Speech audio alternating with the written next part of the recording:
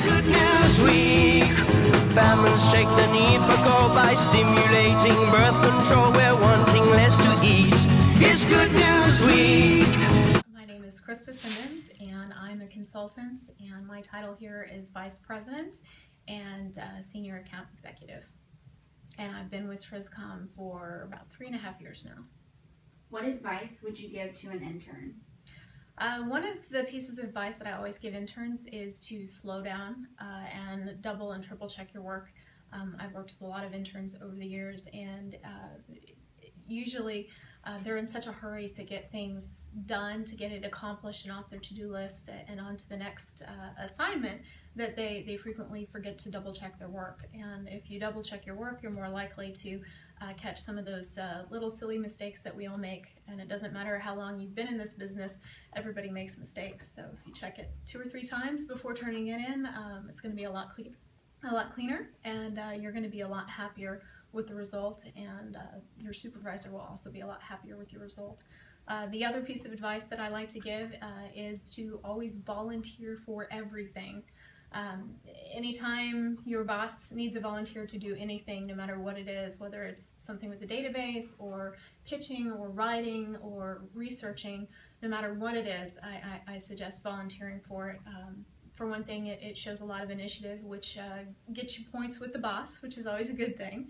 Uh, but the, the other thing is that it really gives you broader experience. So that can help prepare you for your next job. It can give you experience that you might not have otherwise had. It also helps you to uh, really analyze your strengths and your weaknesses and your passions uh, so that when you do get placed in your next job, hopefully it's, it's a really What is your favorite story you've ever worked on?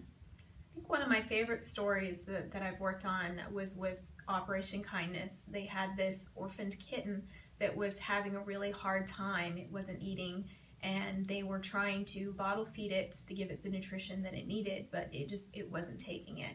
And about the same time, uh, this little bitty dog uh, had a bunch of, of puppies and was nursing. And they got the kitten to nurse from the dog. And so the dog basically uh, adopted this kitten and became its foster mom. And because uh, the cat was nursing from the dog, it, it, got the nutrition that it needed and it, it saved, it saved its life. Uh, and uh, this was a really fun story to work on. We got a lot of coverage for Operation Kindness uh, on this story. We had uh, all the TV crews come out, um, except for one here in the area. Uh, so that's that's always a good thing. And that story actually also went national. We had uh, national pickups from other TV stations, and we also had print coverage. So we're very happy with the coverage that we got for our client, Operation Kindness. What skills are needed to succeed in PR? There's a lot of different skills that you need to succeed in PR. Uh, first and foremost, I'd say communication skills are paramount. Um, both written and oral. Uh, written is more important now than it than it used to be. I know that sounds kind of funny, but uh, because we do so much of our pitching these days via email uh, and and through social media channels, it's very important that uh, the things that you write are strong enough uh, to get your message across, uh, and also brief enough to get it across in a way that's not going to bore your audience completely. So um, always good to have those skills. Um, I think a positive attitude is also very important uh, for being in, in, PR. You get a lot of rejection in this job. Uh, for every time you get a yes from, from a media contact, you probably will have had 10 to 12 no's beforehand. Uh, so it's, it's very important uh, that you kind of develop a thick skin and always have a positive attitude that, okay, I didn't get it this time, but maybe I'll get it next time. Uh, and just to keep going. So uh, I think those probably the most important things. Obviously, there are some other skills that are also helpful. Um, researching skills are very helpful. We do a lot of research to figure out which publications we need to uh, be focused on and uh, which editors and reporters that we need to be talking to.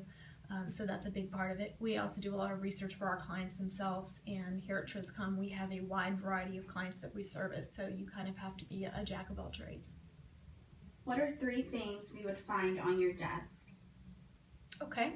Um, I have three things that on my desk that would um, really help me do my job. Uh, a pen and some scratch paper, which I always have no matter where I am. Um, I guess I'm a little old school in that regard.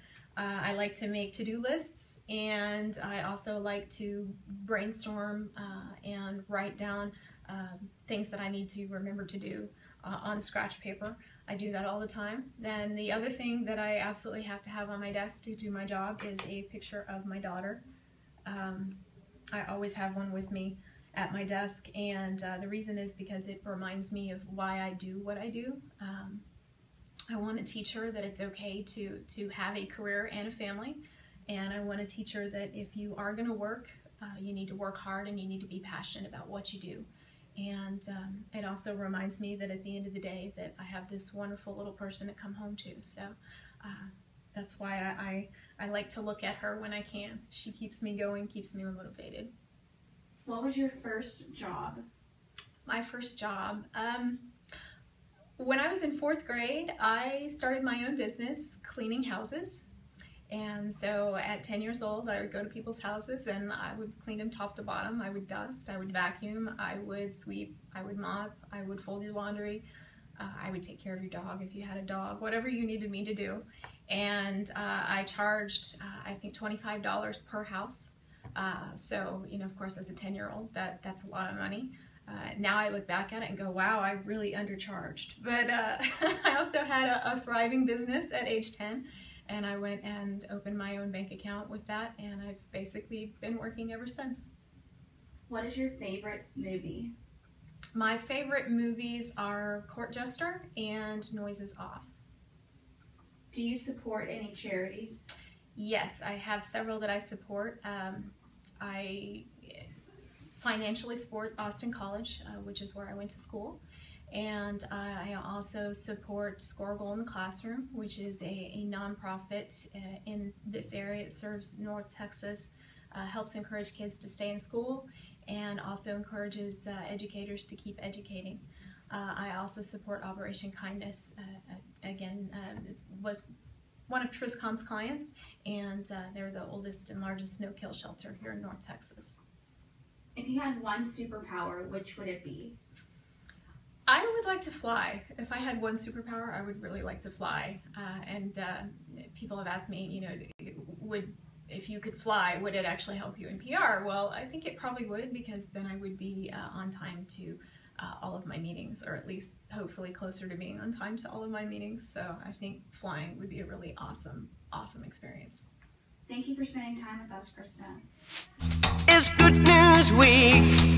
Someone's dropped a bomb somewhere, contaminating atmosphere and blackening the sky. It's Good News Week.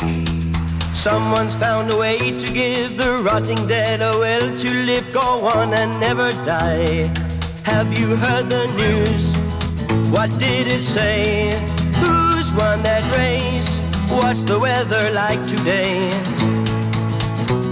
It's Good News Week.